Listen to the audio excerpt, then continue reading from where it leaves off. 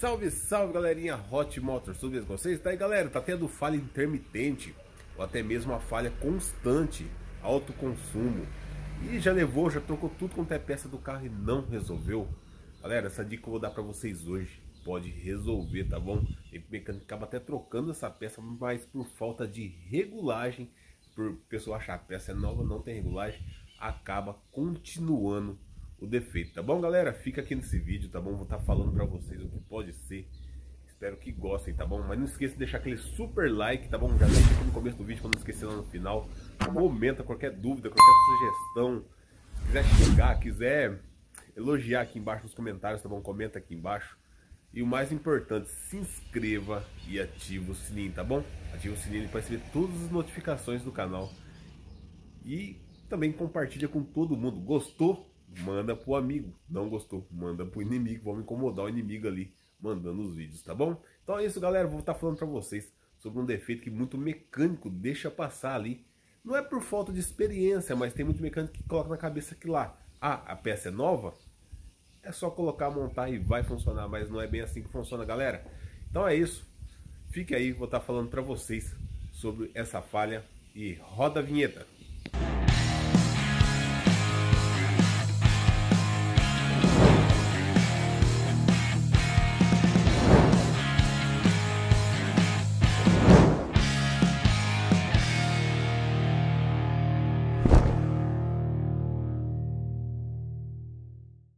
Tem muita gente aí que acaba trocando muitas peças no carro e não resolvendo. E esse problema pode ser vela de ignição. Aí a pessoa fala, ah, mas eu troquei minha vela, coloquei nova.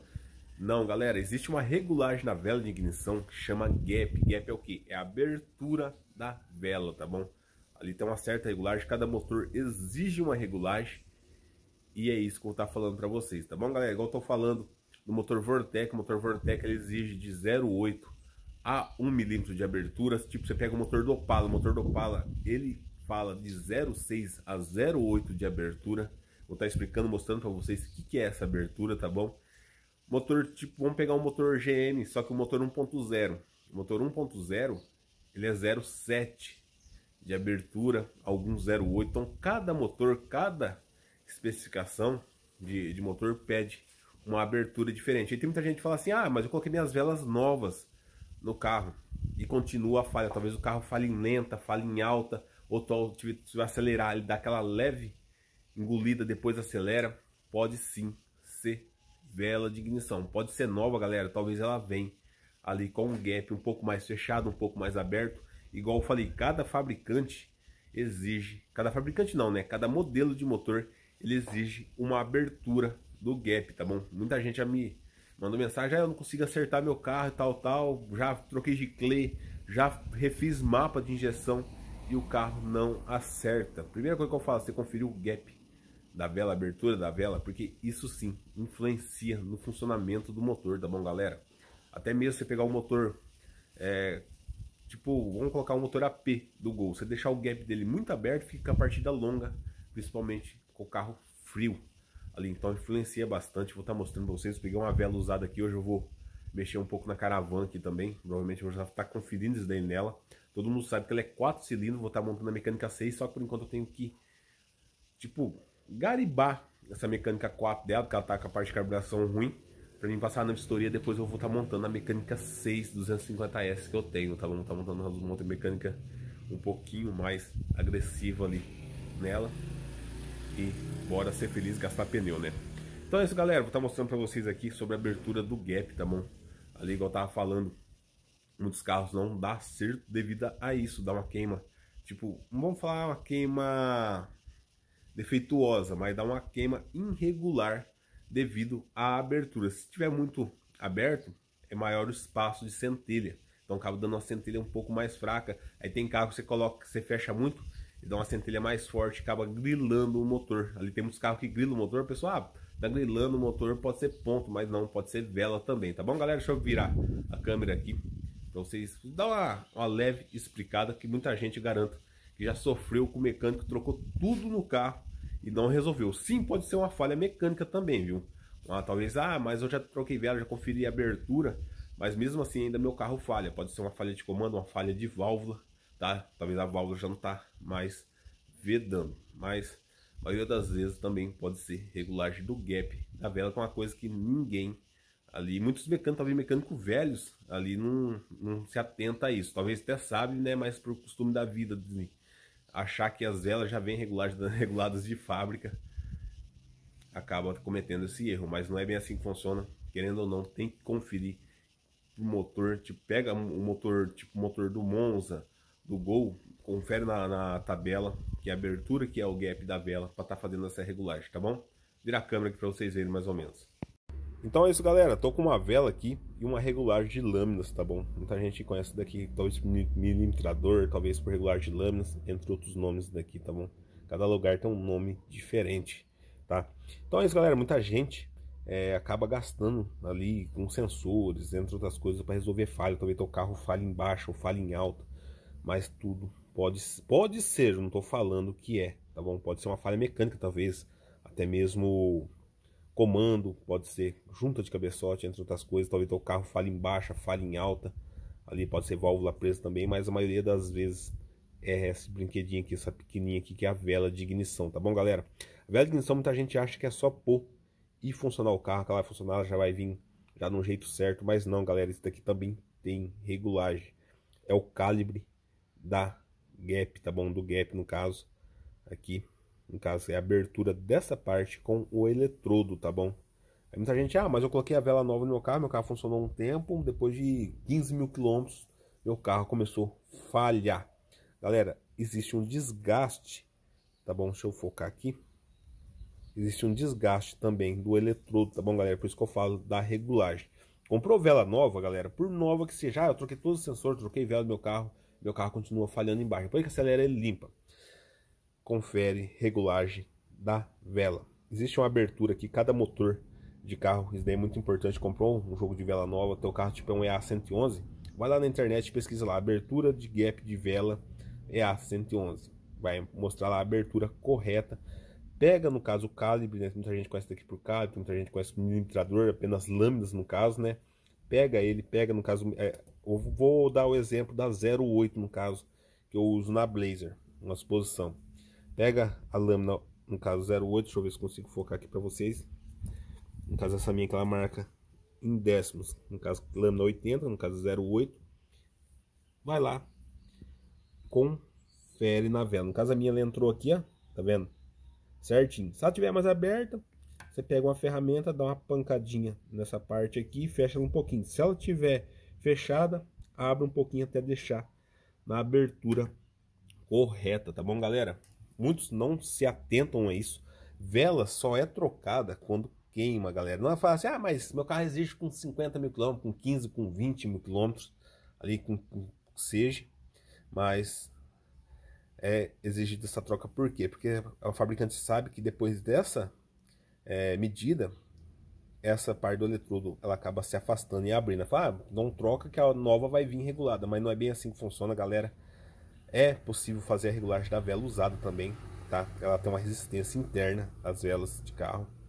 Tem alguns modelos de performance que não tem essa resistência, mas a maioria tem essa resistência interna, ela acaba queimando essa resistência, tá bom? Aí sim, tem que ser trocada, tá bom? Mas a maioria da regulagem, tá bom?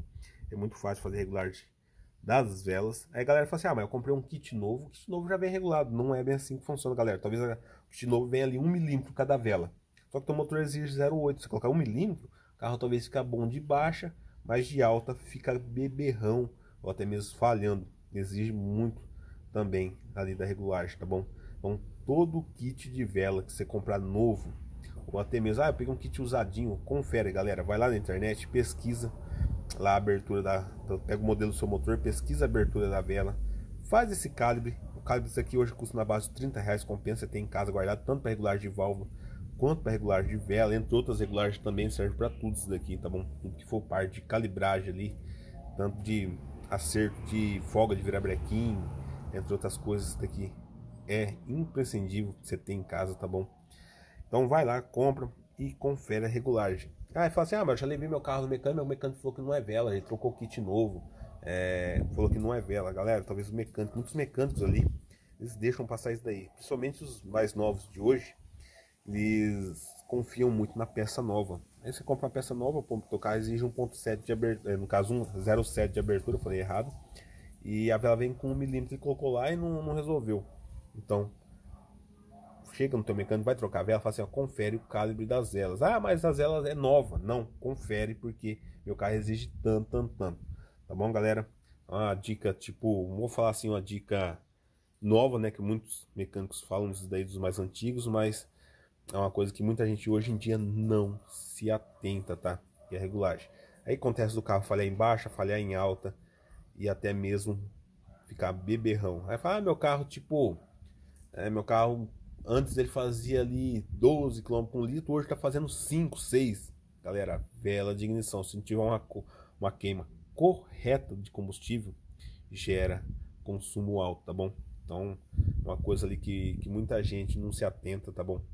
É a abertura do gap, tá? Esse meu aqui, igual eu falei, tá com 0,8, é o padrão da Blazer.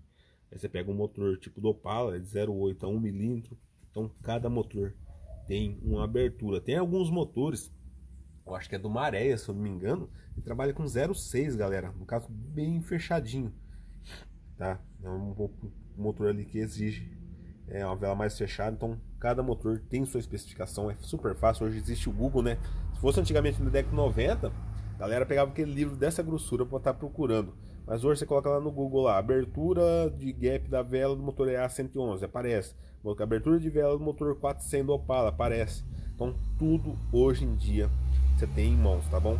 Tem muita gente ali que se atenta a mexer na sua garagem, tá? Igual muitas, tipo assim, a maioria dos brasileiros hoje gosta de estar mexendo com o carro ali, só alguns, né? Costumar, ah, eu vou levar em mecânico, mas a maioria hoje se atenta a, a mexer. Ele mesmo então compensa.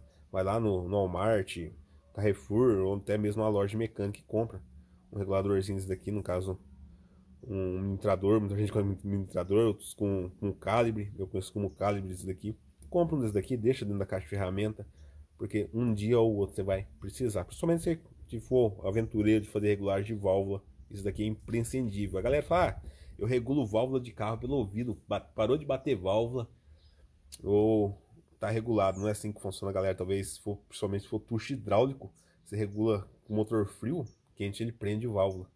Então tem que ser cada motor com uma especificação diferente, abertura de válvula diferente, abertura de gap diferente, entre outras coisas, tá bom, galera? Dica ali não muito nova, né?